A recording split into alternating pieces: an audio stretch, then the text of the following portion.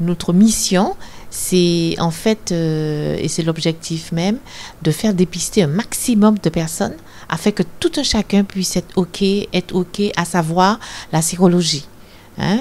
Parce que le sida, euh, il y a des gens qui sont porteurs et qui ne le savent pas. Le test s'appelle le TROD. C'est gratuit et c'est surtout confidentiel. En fait, c'est une, c'est une, un, test qui nous aide un petit peu à avoir un premier, une première idée de la sérologie euh, de la personne qui vient ainsi se dépister. Le résultat avec le TROD arrive en général en 5 minutes.